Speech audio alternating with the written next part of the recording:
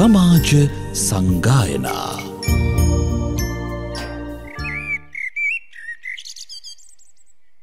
ඔබ සැමට පින්බර සුබ උදෑසනක් පින්නතුනි.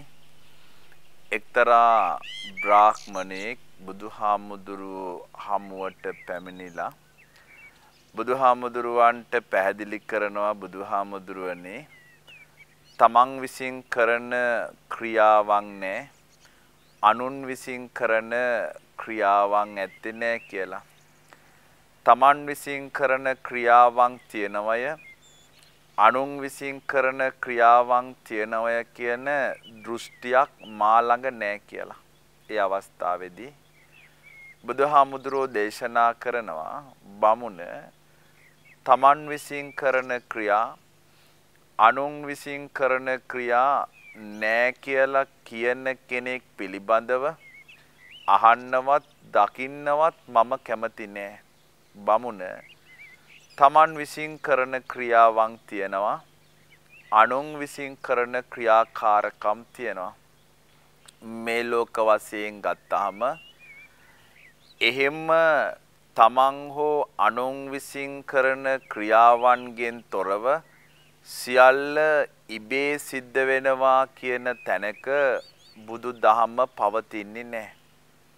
පින්නතුනි මේ හිමිදිරි පාන්දර මේ අත්තකාර සූත්‍රයේදී බුදුහාමුදුරුව විසින් මේ දේශනා කරපු කාරණාව එදාටත් වඩා අද දවසේ අපේ ජීවිත වඩා වැදගත් කරගන්න අපේ ජීවිත වඩා සුවපත් කරගන්න පාවිච්චි කරන්න පුළුවන්කම තියෙනවා. අපි හැම දෙයක්ම යම් කිසි පිරිසකට යම් කිසි කණ්ඩායමකට යම් කිසි බලයකට පවරලා අපි කරන ක්‍රියාවන් වලට වඩා ඒ ඇත්තෝ කරන ක්‍රියාවන් ඒ බලවේග විසින් නිර්මාණය කරලා දෙන ශක්තිය බොහොම බල සම්පන්නයි කියලා විශ්වාස කරලා ඒ ශක්තිය මතම විශ්වාසය තැබීම සුදුසු වෙන්නේ නැහැ. බුදුදහමේ පින්නතුනි සංකල්පයක් තියෙන වගකීම නිදහස ස්වච්ඡන්දතාවය කියලා. වගකීමයි නිදහසයි ස්වච්ඡන්දතාවයයි කියන කරුණු තුනම එකට ගැනෙන කාරණා තුනක්. මනුස ජීවිතය ආරම්භ වුණහම ඒ මනුස්ස ජීවිතය අපිට අවශ්‍යයි නම් ඉක්මන් තැනකදී කොට කරගන්න කෙටි කරගන්න ඒ කෙටි කරගන්න බලාපොරොත්තු වෙන ඇත්තෝ වගකීමෙන් කටයුතු කළ යුතුයි. තමන්ට ලැබෙන නිදහස ඊටා වැදගත්ව පාවිච්චි කළ යුතුයි. එවැගේම ස්වච්ඡන්දතාවයෙන් යුක්තව තමන්ගේ කටයුතු වඩා අර්ථවත් මෙහි යවිය යුතුයි. අතකාර සූත්‍රයේදී මේ බමුණගෙන් බුදුහාමුදුරුව විමසන්නේ බමුණ ඔබ දැකලා තියෙනවද ආරම්භ ධාතුවෙන් යුක්ත මිනිස්සු? ඔව් බුදුහාමුදුරනේ ආරම්භ ධාතුවෙන් යුක්ත පටන් ගැනීමේ වීරියෙන් යුක්ත මිනිස්සු මම මේ ලෝකේ දැකලා තියෙනවා. ඒ වගේම නික්කම ධාතු ආරම්භ කරපු කාර්ය වඩා සාර්ථකව පවත්වගෙන යන්න ඇත්තෝ දැකලා තියෙනද බුදුහාමුදුරනේ ආරම්භ කරපු කාර්යයන් වඩා සාර්ථකව මේ ලෝකේ පවත්වගෙන යන ඇත්තෝ මම දැකලා තියෙනවා. පරක්කම ධාතු පරාක්‍රමය ශක්තිය පාවිච්චි කරලා ඒ පවත්වගෙන යන කටයුතු වඩා ශක්තිමත්ව ගෙන යන ඇත්තෝ මේ ලෝකේ ඉන්නවා. ඒ වගේම තාම ධාතු මෙතන තාම කියලා කියන්නේ බලවත් වීරිය මොන බාධකේ ආවත් මොන බාධාවන් පැමිණියත් මේ ජීවිතයේ ඒවා කරගෙන යන අපි කියමනට කියනවා යමක් පැවරුවහම ඒ පවරපු කාර්යයෙන් ඉවත් වෙන්න නිදහසට කාරණා කියන්න එපා.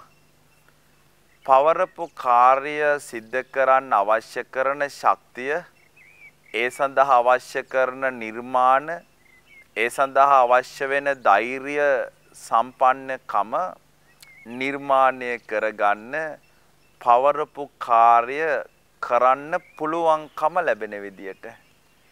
මෙතනදි තාම ධාතු කියන්නේ වීරිය පවරපු කාර්ය තමන් විසින් ආරම්භ කරපු කාර්යයන් මේ ලෝක වශයෙන් තමන් බලාපොරොත්තු වෙන විදියටම පවත්ත ගන්න. ඒ වගේම ටිති ධාතු ටිති කියලා කියන්නේ ස්ථාවර වීරියක්. ඇතැම් වීරිය සම්පන්න බව තියෙනවා. ඒවා ස්ථාවර නැහැ. වහ වහා වෙනස් වෙන්න පුළුවන්. මෙතනදි කියනවා ස්ථාවර වීරියක් බුදුහාමුදුරුවෝ ධර්මයේදී පෙන්නනවා. ස්ථාවර වීරිය තියෙන ඇත්තෝ මේ ජීවිතේ ඉන්නවා. අවසාන කාරණය උපක්ඛම ධාතු. තමන් කරන කාර්ය උපක්‍රමිකව තව කෙනෙකුට හානියක් නොවන විදියට සාර්ථකත්වයන් හඹා යන ආකාරයෙන් සිද්ධ කරනවා නම් ඒක උපක්ඛම ධාතු. අපි කියමනට කියනවා උපාය දන්නෝ අපායේ නොවැටෙත් කියලා. එවැගේම කර්මය විපාක නොදෙන අවස්ථා හතරක් කියනවා. එයින් එකක් තමයි ප්‍රයෝග සම්පත්තිය. ප්‍රයෝග සම්පත්තිය ස්ථානෝචිත ප්‍රඥාව මේ ස්ථානෝචිත ප්‍රඥාවෙන් යුක්ත වෙච්ච ඇත්තෝ කර්මය පවා විපාක දිය යුතු කාරණා පවා වලක්ව ගන්න විදියට තමන්ගේ ජීවිත මෙහෙවනවා. පින්නතුනි අපිට මේ ජීවිතවල ගත්තහම වගකීමක් තියෙනවා. දැන් මිනිස්සු හැටියට අපිට වගකීමක් තියෙනවා. භික්ෂුවක් හැටියට අපිට වගකීමක් තියෙනවා. සබ්බ දුක්ඛ නිස්සරණ නිබ්බාන සච්චි කරණත්තාය කියලා සිවුරු පටිය කරට දැම්මහම භික්ෂුව හැටියට අපිට වගකීමක් තිනේ තමයි సంతානගත සංවර්ධනය හදාගන්න ඕනේ. දෙවෙනි එක තමයි සමාජගත සංවර්ධනය. ඒක වගකීම. ගෙදරකදී අම්මා කෙනෙකුට වගකීමක් තියෙනවා තාත්තා කෙනෙකුට වගකීමක් තියෙනවා. ඒ වගේම මේ පාසල් යන දරුවන්ට වගකීමක් තියෙනවා. මොකද්ද වගකීම? තමන් වෙනුවෙන් තමන්ගේ දෙමව්පියෝ මේ වියහියදම් කරන මිල මුදල් වලට සාධාරණත්වය ඉටු කරන්න ඕනි. අධ්‍යාපනය කියලා කියන්නේ ආයෝජනයක්. ආයෝජනයක් නම් ප්‍රතිලාභ ලැබෙන්න ඕනි. දරුවෝ ඉගෙනගෙන අම්මට තාත්තට අත්පත් කරගන්න බැරි වෙච්ච සමාජය දරුවෝ අත්පත් කරගන්න ඕනේ. ඒක දරුවන්ගේ වගකීමක්. පාරේ යන මගියෙකුට වගකීමක් තියෙනවා. පාරේ වාහන යන්නේ වමෙන් නිසා මගියට යුතුයකමක් තියෙනවා දකුණෙන් යන්න. ඒ වගේම වාහනය පදවන රියදුරු මහත්මයට වගකීමක් තියෙන තමන් වාහනේ යන්නේ. වැසි දවස්වල සමහරලාවට පාරේ වතුර වලවල් තියෙනවා. එන වේගෙම්ම තමන්ගේ ගමන යන්න පිටත් වුනොත් අර මග යන ගේ මගියට මේ පල් වතුර එවැගේම කුණු වතුර මේ අපිරිසිදු වතුර ඇඟේ පතේ ගෑවෙන්න පුළුවන්. සමහරට කාර්යාලයට යන ඇත්තෝ. එවැගේම අපේ වැඩිහිටිය ඇත්තන්ට බස් රථයේදී වගකීමක් තියෙනවා. ගොඩක් වෙලාවට ඒක කරනව අඩුයි. හැබැයි අපි සමහර ඇත්තෝ දකිනවා බුලත් විට කාලා ජනේලෙන් කෙල ගහනවා. ඇඟිලි දෙක කටට තියලා ජනේලෙන් කෙල ගහන. සමහර විට පාසල් යන දරුවෙක් වැඩට සූදානම් වෙලා යන මහත්මයෙක් එම නැත්නම් මහත්මනියක් මේ බුලත් කෙල පහර වැදුනොත් ආය අමුතුවෙන් සූදානම් වෙන්න ඕනේ. ඒ වගේම වැසි දවස්වල බස් එකට නගින්න මගියට වගකීමක් තියෙනවා. තෙමෙන නිසා ඔබ කුඩේ ඉහළගෙන පාපෝරුවේදී කුඩේ අකුලනවා. අකුලපු කුඩේ බස් එකේ කොතනක හෝ තැනක ඔබ රඳවන්න ඕනේ නැත්නම් ඔබ ඔක අතේ තියාගෙන හිටියොත් ඔබ හිටගෙන කුඩෙත් එක්ක ඒ බස් රථය කොතනක හරි අල්ලගෙන හිටියොත් ඔය ඔබේ කුඩේ තියෙන වතුර ටික මගියෙක්ගේ ඇඟට වැටෙනවා. මගියෙක්ගේ ඇඳුමක් තෙමෙනවා. ඔබ හිතන්නේ නැති වෙන්න පුළුවන්. හැබැයි ඔබ නොහිතා කරන ඒ කටයුත්ත ඇතුලේ බොහෝ පිරිසක් අපහසුතාවයට පත් වෙනවා. ඒ වගේම පොදු මගී ප්‍රවාහනය පාවිච්චි කරන ඇත්තෝ සැලකිලිමත් වෙන්න ඕනේ. ඔබ විලාසිතා පාවිච්චි කරන වෙන්න පුළුවන්. හැබැයි උහුලන්න බැරි තරමේ අඩි උස සපත්තු දාගෙන ඔබ බස් රථයට නැග්ගොත් තව කෙනෙක්ගේ කකුල පෑගෙනකොට ඇතිවෙන වේදනාව මහා බරපතලයි. ඔබේම වාහනයක නම් ඔබට ඕන විදියට සපත්තු කූට්ටමක් පළඳින්න පුළුවන්. හැබැයි පොදු ප්‍රවාහනයේදී ඔබට ඒ දේ කරන්න බෑ. මේක මගේ සපත්තු දෙක වෙන්න පුළුවන්. හැබැයි තව කෙනෙකුට ඒකේ හානියක්. ඒ වගේම ගමන් මලු උරමලු ගෙනියනකොට ඔබේ උරමල්ලේ ආරක්ෂාව ඔබ සලක ගන්න ඕනේ. හැබැයි ඔබ ඔක්කොම උරමලු කරේ දාගෙන බස් එකේ ඉන්න ගියොත් තව මගියෙකුට දෙන්නෙකුට බස් රථේ යන්න තියෙන අවස්ථාව අහිමි වෙනවා. ඔය උරමලු වල සමහර වෙලාවට පමණටත් වඩා විවිධ ආකාරයේ අවශ්‍ය අනවශ්‍ය දේ ඒකේ රඳවල තියෙන. යකඩ ඒ ආශ්‍රිත යම් යම් ලාංඡන ඔය උරමල්ලක තිබුණොත් ඔක තව කෙනෙක්ගේ ඇඟේ වදින්න පුළුවන්. එවැනි බෑග් එකක් ඔබට පාවිච්චි කරන්න අවශ්‍යයි නම් ඒ ඔබේ වාහනේ ඇතුලේ පාවිච්චි කරන්න ඕනේ පොදු ප්‍රවාහනයේදී ඔබට ඒ දේ කරන්න බෑ. ඒ වගේම රෝහලක ගත්තාම අපි දකින සමහර අඩුවක් තියෙනවා. මේක බොහෝ ඇත්තෝ කරන එකක් නෙවෙයි. සමහර ඇත්තෝ තියෙනවා යම් රෝගියෙක් යම් වාට්ටුවක ඉඳලා ශල්‍යාගාරයට ගෙනියනවා. ශල්‍යාගාරයට ගෙනියනකොට සාත්තුවට කවුරුත් යන්නේ නැහැ. ඔය රෝගියා නැවත ඒ වාට්ටුවට ගේන්නේ නැතුව වෙන වාට්ටුවක රඳවනවා. නමුත් අර පෙර වාට්ටුවේ ඇත්තන්ට වගකීමක් තියෙනවා. ඒ අයගේ බෑග්, ඒ ගමන් මලු මේ දේවල් ටික එතනට ගිහිල්ලා දෙන්න. නැත්තම් ඒ රෝගියා දැනුවත් කරන්න සමහර වෙලාවට රැට කන්න තිබිච්ච කෑම එක බනිස් ගෙඩිය කෙසෙල් ගෙඩියේ බෑග් එකේ වෙන්න පුළුවන්. ඔබ මේක හිතන්නේ නැතුව කමක් නැහනේ. ඔහුත් තව එක ලෙඩෙක් කියලා කල්පනා කළොත් ඒ ඔබේ වගකීම පැහැර හැරීමක්. මේ ජීවිතවල අපි දකිනවා නිවසක ගෘහමූලිකතුමා වගකීම පැහැර හැරලා එයාට ආරම්භ ධාතු නැතුව, එයාට නික්කම ධාතු නැතුව, එයාට පරක්කම ධාතු නැතුව, එයාට උපක්කම ධාතු නැතුව මේ ජීවිතේ කටයුතු කිරීම මත පෞල් ජීවිතය තුල තියෙන සාර්ථකත්වය ගිලිහෙනවා. අනිත් පිරිස් ඉස්සරහා යා මහා අපකීර්තියකට පත් වෙනවා. හේතුව බැලුවොත් වෙන දෙයක් නෙමෙයි. වගකීම් විරහිතයි. බුදුහාමුදුරුවෝ තමන් කරන ක්‍රියාවන් තියනවා කියලා දේශනා කරන්නේ අනුන් කරන ක්‍රියාවන් තියනවා කියලා දේශනා කරන්නේ මේ වගකීම කියන කාරණාවත් එක්ක. ඒක ඊළඟ පැත්ත තමයි නිදහස. අපි හැමෝම බලාපොරොත්තු වෙනවා නිදහසක්.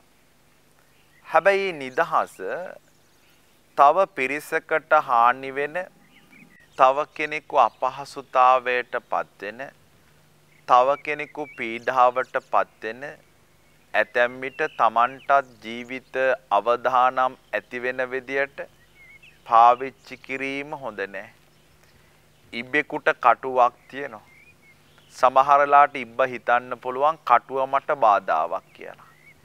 ඒම හිතපු ඉබ්බා කටුවෙන් එළියට ඇවිල්ලා කටුව උඩ හිටගත්තොත් අවසානයේ Tamanට ලැබිච්ච නිදහස ඒ ජීවිතය විනාශ වෙන්න හේතුවක්. ඉත්තෑවෙකුට නිදහසක් ඕනේ. එයාට අනිත් සත්තු වැළඳ ගන්න බෑ. ඒ නිසා මට මේ ඉත්ත කූරු ටික බාධාවක් කියලා හිතුවොත් ඉත්තෑවට තර්ජනයක් ආපු වෙලාවක පුම්බන්න ඉත්ත කූරු නැති වෙනවා. එතකොට යාගේ ජීවිතේට ඒක හානියක්. කබල්ලාවා එයාගේ කොරපොතු වලින් තමයි ශක්තිමත් වෙලා තියෙන්නේ. එයා හිතුවොත් මේක කැතයි. මේ කොරපොතු අනිත් සත්තුන්ට නෑ. කොරපොතු තිබ්බහම මම කැතයි කියලා. එයා කල්පනා කළොත් කොරපොතු නැති වුණාම හොඳයි කියලා. හරි නිදහස් කියලා. හැබැයි ඒ නිදහස යාට සමහර වෙලාවට ජීවිතය නැති වෙන්න හේතුවක් වෙන්න පුළුවන්. මිනිහෙකුට නිදහසක් ඕනේ. සත්ව සමාජයට නිදහසක් ඕනේ. ඒ නිදහස ඕන වෙන්නේ දෙපැත්තෙම දෙපාර්ශ්වයේම සමාජයේම යහපතට මිස අයහපතට නෙවෙයි අපි කියමනට කියනවා. මට තියෙන නිදහස තව කෙනෙකුට තියෙයි. හැබැයි මගේ නිදහස තව කෙනෙකුගේ නිදහසට බාධා නොවෙන විදියට පාවිච්චි කිරීම අත්‍යවශ්‍යයි. වගකීම් ඉටු කරන්න නිදහසක් තියෙනවා. හැබැයි ඒ වගකීම් ඉටු කරන්න තියෙන නිදහස වගකීම් පැහැර හරින්න පාවිච්චි කරන්න බෑ. සමාජයේදී කතා කරන එක කාරණයක් තියෙනවා එක සොක්‍රටිස් කියන පඬිවරයා වඩා අර්ථවත් විදියට පැහැදිලි කරනවා. එතුමා කියනවා ආගමයි සංස්කෘතියයි නොතිබුණා නම් මේ ලෝකේ වඩාම දරුණුම සතා තමයි මිනිසයා. ආගමයි සංස්කෘතියයි නීතියයි එක්ක තමයි මේ මිනිසයා වඩා සාමකාමී වෙලා තියෙන්නේ. ඔහු කියනවා ආගම නීතිය සංස්කෘතිය නොතිබුණා නම් මිනිහා තරම් වනචාරී සතෙක් තව ඇත්තේ නැහැ කියලා. අපිට ඒකට යම් සාධාරණ ස්වභාවයක් තියෙනවා. මොකද බුදුහාර දේශනා කරනවා මිනිස් පෙරේතයෝ මේ ලෝකේ ඉන්නවා. මිනිස් තිරිසන්නු මේ ලෝකේ ඉන්නවා. මිනිස් සත්වයෝ ඉන්නවා. ලබපු මිනිස් ජීවිතයට සාධාරණ ඉටු කරලා තමන්ට ලැබිච්ච නිදහස දෙලව ලාභය පිණිස භාවිත කරලා තමන් විසින් කරන ක්‍රියාවන් පාලනය කරලා අනුන් විසින් කරන ක්‍රියාවන් පාලනය කරලා යහපත් දේවල් මේ සමාජය තුල ක්‍රියාත්මක කරලා අයහපත් දේවල් මේ සමාජ ජීවිතයේදී බැහැර කරනවා. ඒක වඩා වැදගත්. ඒ නිදහස අපි අගය කර මේකේ තුන්වෙනි කාරණය තමයි ස්වච්ඡන්දතාවය පින්නතුනේ තමන්ට යම් කටයුත්තක් කරනකොට ස්වච්ඡන්දතාවයක් ඕන. ස්ව කැමැත්තක්. ස්ව කැමැත්ත මේ ස්වච්ඡන්දතාවය අපේ ජීවිත මෙලව සහ පරලොව වඩා අර්ථවත් කරන්න හේතුවක්. බුදුදහමේ ස්වච්ඡන්දතාවය කතා කරන්නේ සම්මා වායාමය තුල ඉඳලා. බුදුදහමේ ස්වච්ඡන්දතාවය කතා කරන්නේ පින්වතුනි විරිය බොජ්ජංගේ ඉඳලා. බුදුදහමේ ස්වච්ඡන්දතාවය සත්‍තිස් බෝධිපාක්ෂික ධර්මවල පංචේන්ද්‍රියවල විරියේන්ද්‍රිය ඉඳලා. විරීන්ද්‍රිය තුල ඉඳලා තමයි ස්වච්ඡන්දතාවය කතා කරන්නේ. පුද්ගලයා තුල තිබෙන ස්වච්ඡන්දතාවය අපි කතා කරන්නේ ධර්මය තුල සම්මා වායාමය. දැන් සම්මා වායාමය කියලා කියන්නේ අපි වෑයම් කරන්න ඕනේ. කුමක් සඳහාද අපි වෑයම් කරන්නේ? නූපන් අකුසල් නූපදවන්න. උපන් අකුසල් යටපත් කරන්න. නූපන් කුසල් උපදවන්න. උපන් කුසල් වැඩි දියුණු කරන්න. ඔබේ මගේ ආරම්භ ධාතු ආරම්භ වීරිය නූපන් අකුසල් නූපදවන්නම තමයි මේ හිමිදිරිය වෑයම් කරන්න ඕන. උපන් අකුසල් තියෙනවා නම් මේ අලුත් දවසේ ඔබ නිවසින් එළියට බැහැරට ගමන් කරන්න පෙර තමන් පිළිබඳ ස්වයං විවේචනයක් හදාගෙන පෙර දවසේ රාත්‍රියේ පෙර දවසේ හවස එම දෙයක් මගේ අතින් වුණා අද දවසේ එහෙම වෙන්නේ නැහැ කියන්න වීරිය කරනවා.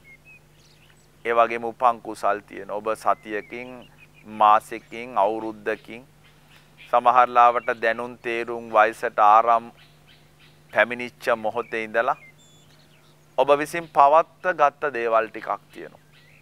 අන්නේ පවත්ත ගත්ත දේවල් වඩා වටිනවා. ඒක සමාජයේ ඇගීමට භාජනය වුණා. ඒ ඇගීමට භාජනය වෙච්ච කාරණා ටික මං විසින් කරනවා. උපං කුසලුත් එහෙමයි දියුණු කරනවා. ඒ වගේම විරිය බොජ්ජංගේ. බොජ්ජංග කියන්නේ බෝධි අංග. බුද්ධත්වයට අරිහත් ස්වභාවයට ඔබේ විමුක්තියට අවශ්‍ය කරන සප්ත බොජ්ජංගවල එකක් තමයි විරිය බොජ්ජංගය. ඔබේ ස්වච්ඡන්දතාවය වීරිය මත තමයි පදනම් වෙන්න ඕනේ. ආරම්භ ධාතු. යමක් ඔබ ආරම්භ කරනකොට ඒ පිළිබඳව ගැඹුරින් කල්පනා කරලා බාධක ගොඩක් තියෙද්දි නොබියව ඒ දේ ආරම්භ කරනවා. ඒක ආරම්භ ධාතු. ඒ ආරම්භ ධාතු තුල තමයි වීරිය තියෙන්නේ. නික්කම ධාතු. සමහර කටයුතු තියෙනවා පටන් ගත්ත තැනම නවතිනවා. අපි කියන්නේ ගත් තැන ලොප් වෙනවා කියලා. එහෙම ඒවා තියෙනවා. ඔබේ වීරිය හදාගන්න ඕනේ මේ ආරම්භ කරපු දේ පවත්ව ගන්න. පරක්කම ධාතු. සමහර ඒවා පවත්වගෙන යනකොට ඒ දේ ඉදිරියට ගෙන යනකොට ආරම්භ කළාට වඩා වැඩි ශක්තියක් එවෙනින් යොදවන්න අවස්ථාව වෙනවා. එතෙන්දී පසු බහින්නේ නැතුව ඔබේ ස්වච්ඡන්දතාවය වීරිය මත පවත්ව ගන්න ඕනේ. තාම ධාතු. ඔබේ වීරිය සමාජය පරීක්ෂා කරන අවස්ථා තියෙනවා. ඔබේ වීරිය මේ ඔබේ නිවස පරීක්ෂා කරන අවස්ථා තියෙනවා. ඔබේ වීරිය ඔබේ ආයතනය පරීක්ෂා කරනවා.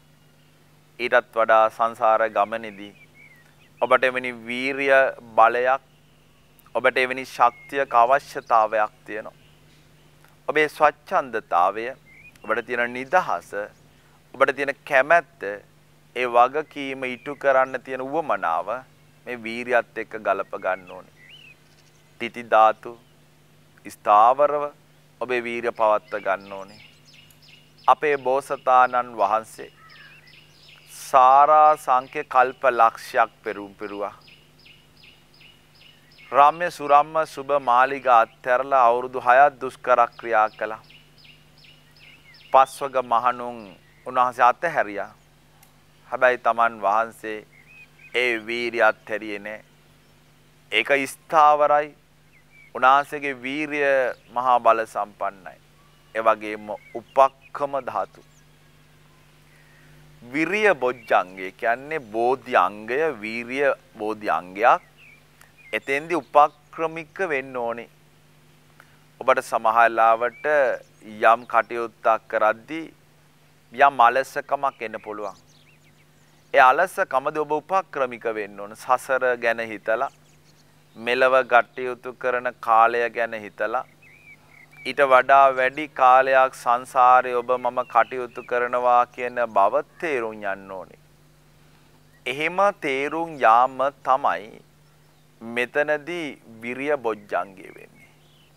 ඒ වගේම සත්‍තිස් බෝධි පාක්ෂිකවල විරි ඉන්ද්‍රිය කියලා කියනවා අපි. වීරිය ඉන්ද්‍රියක්. ශ්‍රද්ධාව ඉන්ද්‍රියක්. ඒ අතර වීරිය බල සම්පන්නයි. ඔබේ ස්වච්ඡන්දතාවය ඔබේ නිදහස ඔබේ වගකීම මේ ඔක්කොම කාරණා ටික වීරියත් එක්කයි තැන් වෙන්න ඕනේ. එතනදී පටන් ගත්ත කාර්ය ඉදිරියට පවත්වාගෙන යාම සඳහා ඔබ ශක්ති සම්පන්නයි. තමන් කරන ක්‍රියාවන් තියෙනවා. මේ ලෝකේ බැලුවොත් මේ හැම දෙයක්ම වගේ අපි විසින් කරපු දේවල්. අපි විසින් නිර්මාණය කරපු දේවල්. අපිට අනුරාධපුරට පොළොන්නරුවට ගියහම සමහර දෘඩ බොහොම ඝන පාෂාණ ඊටම සියුම් මොලොක් ගුණයන් වලට ආරෝපණය කරලා තියෙනවා. දැන් සමාධි බුදුරුව ගත්තොත් ඒ පාෂාණය මහා ගුණයන් රාශියක එකතුවක් වෙලා තියෙනවා. ගල් විහාරය ගත්තොත් බොහෝ ඇත්තන්ගේ හිත සමාධිගතයි. මේ නිර්මාණය අපේ ඇත්තන්ගේ. සීගිරි ගල තිබ්බ විදියටම තිබුණා නම් කාශ්‍යප රජතුමා ඒක අලංකාරවත් කළේ නැත්තම් දෙස් විදේශ සංචාරකයන්ගේ හිත එතනට ඇදෙන්නේ නැහැ. ඒකට වටිනකමක් ලැබුණා. අපි දකිනවා සමහර නිර්මාණ ශිල්පීන් ගස්වල මුල් විවිධ පාෂාණ විවිධ කොටස් අරගෙන බොහෝ ලස්සන නිර්මාණ කරනවා. ඒ හිතක් නැති එවැනි වස්තුන් වලට සැබෑ ජීවය කවන්නේ කවුද කියලා බැලුවොත් ඒ පොහොසත් ඇත්තෝ පොහොසත් කියලා කියන්නේ අදහස් වලින් චින්තන ශක්තියෙන් නිර්මාණාත්මක හැකියාවෙන් පොහොසත් අය මේ ජීවිතවල එවැනි අය නිර්මාණය වෙන්නේ නිකං බලා ඉඳීම තුල නෙවෙයි. යමක් දකිනවා යමක් හිතනවා. හිතපු දේ කටයුතු බවට පරිවර්තනය කරන අපි කියමනට කියන මේ ලෝකේ බොහෝ අයට සංකල්ප මතක් වෙනවා. බොහෝ ඇත්තෝ බොහෝ ලස්සන සංකල්ප ගැන කතා කරනවා. නමුත් ඒ තමන්ගේ හිතේ පැන නැගිච්ච ඒ සංකල්ප යථාර්ථයක් බවට පත් කරලා තියෙන්නේ ඊටම අතලොස්සක් දෙනෙක්. අපි උත්සාහ කරන්න ඕනි අපි හිතේ පහළ වෙන එවැනි වැදගත් යහපත් සංකල්ප මේ පොළවේ යථාර්ථයක් කරන්න. එහෙම යථාර්ථයක් කරන්න නම් මිත්‍යාව තුල ජීවත් වෙලා බෑ. ඒ වෙනුවෙන් අපි කටයුතු කරන්න. ඒ වෙනුවෙන් ආරම්භ ධාතු ඕනේ. නික්කම ධාතු ඕනේ පරක්කම ධාතු ඕනේ ඒ වගේම තාම ධාතු ටිති ධාතු ඕන උපක්කම ධාතු ඕන අත්තකාර සූත්‍රයේදී යමෙක් කරන පිරිසක් නෑ කියන එක බුදුහාර ප්‍රතික්ෂේප කරන කරන ඇත්තෝ ඉන්න අපි මේ උදාහරණ හැටියට කිව්වේ එහෙමයි. ඒ වගේම තමන් විසින් කරන ක්‍රියා නෑ කියලා කියන්න බෑ. තමන් විසින් කරන ක්‍රියාවන් තියෙනවා. ඔබේ ඉතිහාසය ගත්තොත් ඔබ අද මේ තැනක ඉන්නේ උදේ හවස යැදීම් තුල නෙවෙයි. ඔබ විසින් යමක් කළා. ඔබ ශක්තිය ප්‍රමාණයෙන් ඒ වෙනුවෙන් මැදිහත් වුණා. ඔබේ නිවස ගත්තත්, ඔබේ වාහනය ගත්තත්, ඔබේ රැකියාව ගත්තත්, ඔබේ උගත්කම් ගත්තත්, ඔබ විසින් ගොඩනගාගත් සමාජ තත්ත්වය ගත්තත් මේ හැම දෙයක්ම නිකන් ඉඳලා ලැබිච්ච දේවල් නෙමෙයි. ඔබ ඒකට වටිනකමක් දීලා තියෙනවා. ඒ වෙනුවෙන් ඔබ මෙහෙ වෙලා තියෙනවා. ඒ වෙනුවෙන් ඔබ නිදි වරලා තියෙනවා. දහඩිය වගුරුවල තියෙනවා, මනස වෙහෙසවල තියෙනවා. බොහෝ හැල හැප්පීම් වලට භාජනය වෙලා තියෙනවා. ඉතින් මේ හැම දෙයකම ප්‍රතිඵලයක් තමයි අද ඔබ ඉන්න තත්ත්වය. එතනදී ඔබට තියෙනවා වගකීමක්, ඔබට තියෙනවා නිදහසක්, ඒ වගේම ස්වච්ඡන්දතාවයක්. අතීත මුතුන් මිත්තන්ට ඒක තිබුණා. ඔවුන් ඒක පාවිච්චි කළා වර්තමානයේ තියෙන ඒක සමහරත්ව පාවිච්චි කරන අනාගතෙත් එමය ඒක වෙනස් වෙන්නේ නැහැ. ඒ ස්වභාවය ඔබ මම තේරුම් ගත්තොත් හෙට ලොව අපිට ජයග්‍රහණය කරනවා කියන එක ඊටාම පහසුයි ඒ වෙනුවෙන් මේ දහම මහඟෝසුවක් ඖෂධයක්ම වේවා ඔබ සැමට සම්මා සම්බුදු සරණයි. සමාජ සංගායනා